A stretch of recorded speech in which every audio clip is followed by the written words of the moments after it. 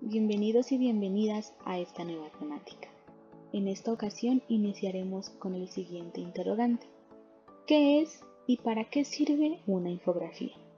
Estas están denominadas o definidas como una representación visual, donde tú puedes combinar varios elementos para la síntesis y presentación de información. La infografía nos ayuda a que la audiencia responda al cómo del tema que tú vas a desarrollar en este tipo de contenido y pueda comprenderlo de una manera más adecuada. Puedes presentar una sucesión de acontecimientos relacionados con el tema y también te permite describir procesos. Al momento de realizar una infografía, debemos tener en cuenta aspectos como los siguientes. La selección de información debe ser pertinente al tema.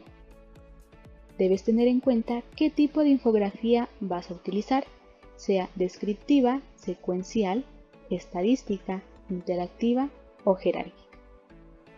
Determinar la parte estética es muy importante, por ello debes tener en cuenta qué colores vas a utilizar, qué iconos son pertinentes en tu infografía y qué imágenes pueden ir relacionadas con tu tema. Por último, pasamos a diseñar de manera ordenada y estética, también creativa, tu infografía. Para esta parte hemos desarrollado una guía donde te explicamos paso a paso cómo puedes crear tu cuenta en Canva, que es una herramienta gratuita donde tú puedes diseñar las infografías que desees y tienes varios recursos estéticos como imágenes, elementos e iconos que puedes utilizar.